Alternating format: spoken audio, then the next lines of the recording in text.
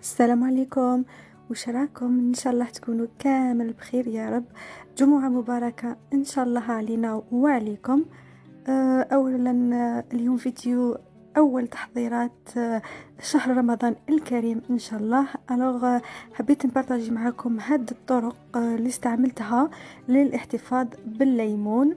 بما إنه رانا في la saison تاعو والسعر تاعو راهو مناسب ويساعد الجميع donc من الأحسن أننا نستغل الفرصة هذه ونقص التعب على نفسنا ونستغل الوقت ديالنا للطاعة والعبادات في الشهر الكريم إن شاء الله.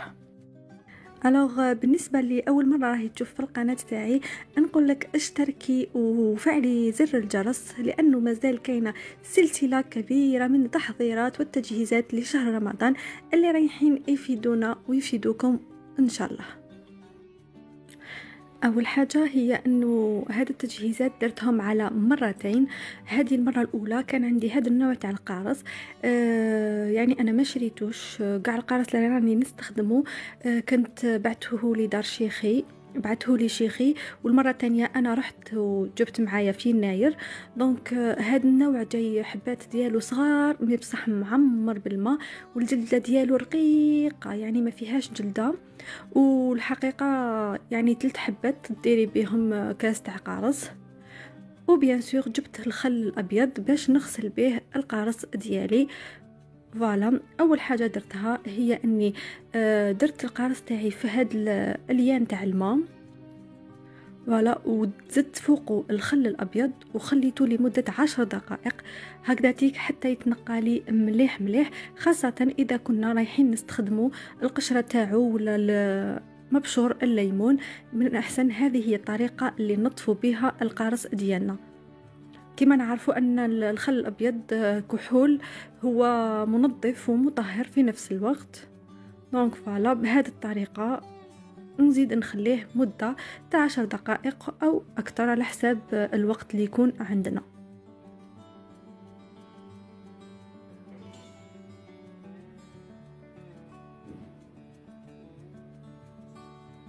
هنايا بعد مدة وليت ليه شوفوا راح تلاحظوا أنه مام اللون تاعو بان.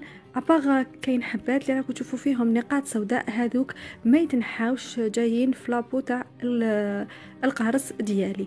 فوالا جبت هاد السلة صغيرة نخليهم يقطروا فيهم بعقلهم ومن بعد تيك نشفهم حبة بحبة ونبدأ في التحضيرات.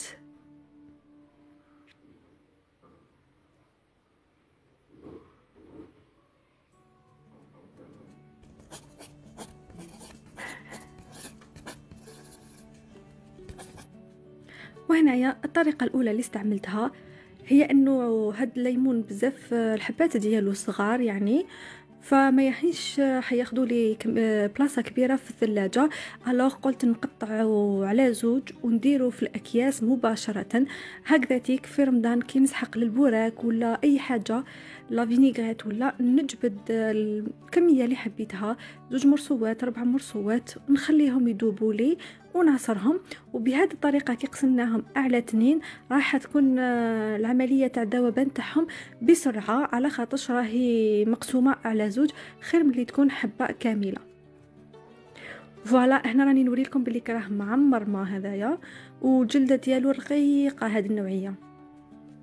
يعني حتى الشكل ديالو جاي حبات صغار بصح تاع تاع جنينة هذا ومسقي مليح يعني الماء ديالو الله يبارك.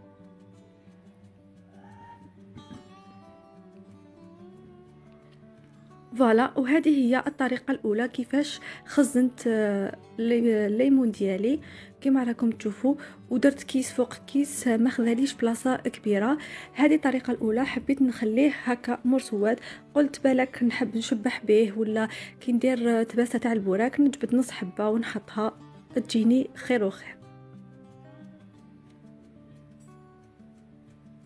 voilà. وتقدروا ديروهم في الأكياس ولا اللي عندها congélateur كبيرة. تقدر تعمر آه، بواطة بواطة carrée. تعمرها كامل وتجبدو. ويعني ما يلصقش في بعضه بكل سهولة. رايحين تجبدوا المرسوات اللي حبيتو.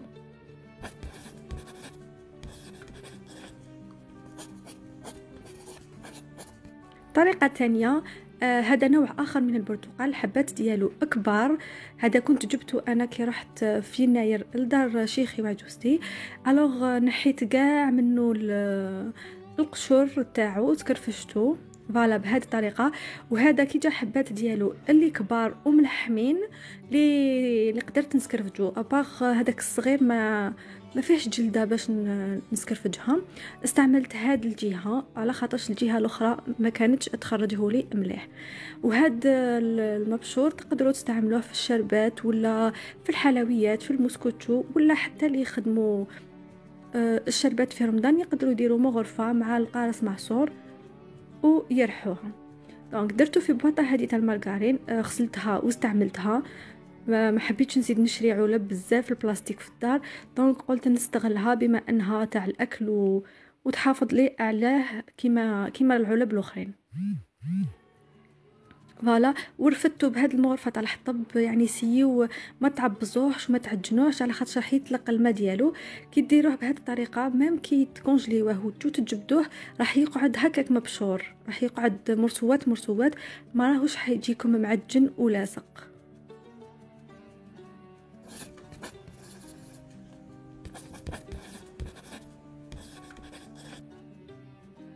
وهنايا الطريقة الثالثة. donc voilà هاد الحبات اللي قعدوا لي هما كبار يعني. راني نوري لكم هنا يدي طابو كي سكرفشتهم آه هنا كاين واحد 3 كيلو ولا برك ما راهمش يبانوا كي راهم في السلة. voilà كنت عصرتهم كامل هاي ليك. وماشي في وقت واحد يعني ريحت باش آه سكرفش باش آه عصرتهم. خرجوا لي ستة les gobelets وكل gobelet رايحين يدير لي آه ريتلا ريتلا ونص تاع شربات. بالنسبة لهاد البقايا تاع الليمون رايحين نحتفظوا بهم ونخبوهم على خاطرش رايحين نستغلوهم ليدير القرنون ولا الخرشف ولا للتنظيف تاع البيت تاني والتطهير به راح نخبيهم ونديرهم في كونجيلاتور وإن شاء الله ندير معكم فيديو توضيحي اللي رايح نوريكم طرق اللي نقدروا نستغلوا فيهم هاد القشور. يعني نسيو قدر الإمكان أننا ما نبدروش وما نرمو والو. donc voilà نغلف لهم آه، الراس ديالهم. هذا بالنسبة للقشور اللي قعدوا لي. voilà درتهم في كيس هكذاتيك ما ياخذوليش البلاصة كامل ونسي نستغلهم. كي نجي نظف ولا نجبد زوج ولا ثلاثة ريسان ونستعملهم. هنايا غلفت les gobelets تاعي كامل بهذه الطريقة باش ما تخش فيهم ريحة ولا تخش ولا أي حاجة. ونستفوهم في الباب تاع الثلاجة بهذه الطريقة. donc voilà نسيو نحطوهم بهذه الطريقة. ابخي كي يجمدوا لنا باش ما يدفقوناش نحطوهم كيما كيما كان عندنا المكان على حساب واش يساعدكم انتوما.